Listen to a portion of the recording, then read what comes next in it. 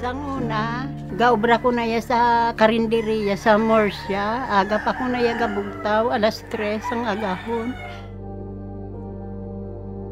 Kada Sabado, ga panglabada ko. Te, ang akon sweldo, 300 lang. Kulang pa gid na ya, ipabalon ko sa akon college. Gaobra ko sa tao, nagapangamo ko.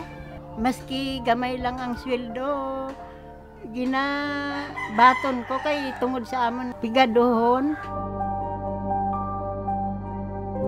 Nakasulod kami sa four piece sa tatlo ko na kabataan. Kay tanan sila ga eskwela. Daso nangutang ko. Kulang pagid ang budget namon na pinansyal. Sa amon ba, barangay, nalipay ko kay isa sa kuya na napilian, tagaan sang ah, livelihood program sang BRAC.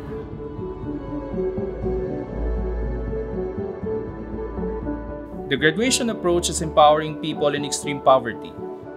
It is a comprehensive, time bound, and sequenced set of interventions specifically designed to build participants' capacity to move beyond extreme poverty and into secure, sustainable, and resilient livelihoods. Nag-orientation kami, kag nag-training. Dasun gintagaan kami duwa ka bilog ka baboy kag lima ka saho ka pids. Sa ikaapat ka cycle sang pagsagod ko sang baboy, ang ginansa ko gindugang ko sa akon negosyo ginbalik ko sir ang kapital. Dasun may mga alaga ko na da sir na mga native na mga manok may pabo.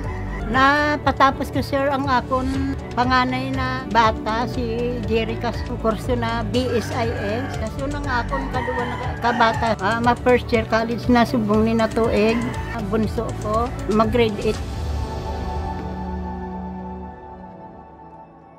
wala na kuya subungga pangutang. Kag nagtawhay ang amon pangabuhi.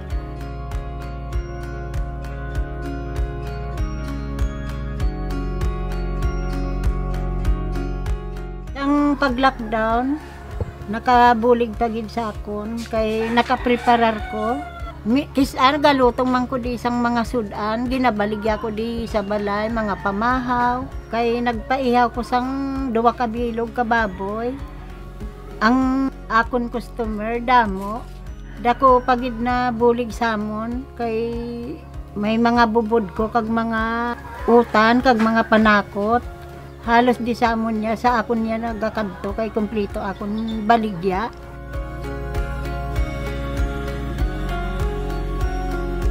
Wala na ko subong ga pangamo, diri lang ko sa balay.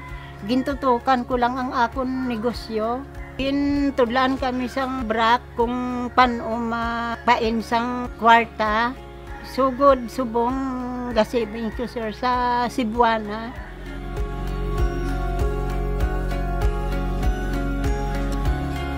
Salamat gid sa brak kag dole, EDB, kay dako gid na bulig sa amon pangabuhi ang ginhatag na livelihood program damo gid na buligan